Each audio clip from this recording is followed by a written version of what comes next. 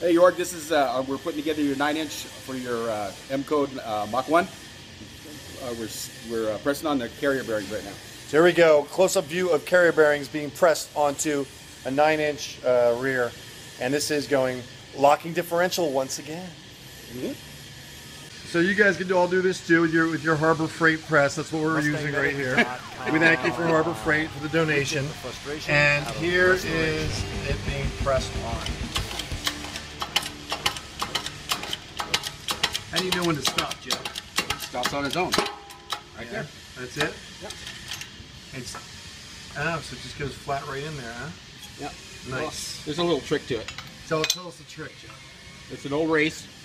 You cut a slot in it so it fits over the top perfectly. And when it's down... Ah, there's gold from Joe at Mustang Medic, guys. Take notes. We're giving you how-to videos again. All right, what are you doing now? The other side. There's two of them, one for each side. I knew that. Actually, I didn't know that, but I'm make sure I got. I'm learning uh, with everybody. Here's that. That. That. And that.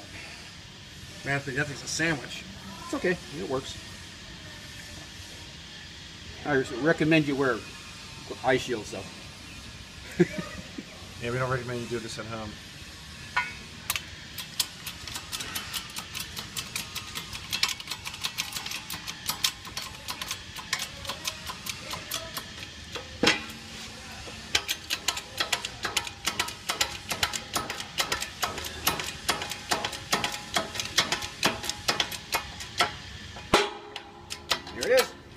And boom, there you go.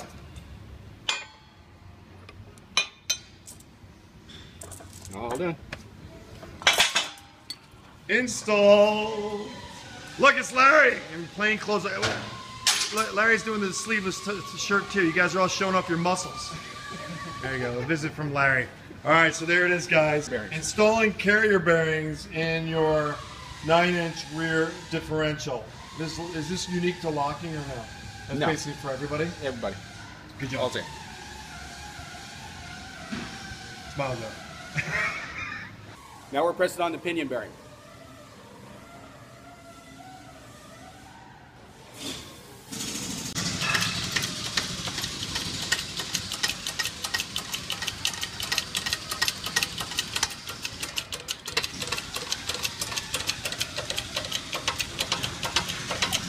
MustangMedic.com. We take the frustration out of restoration.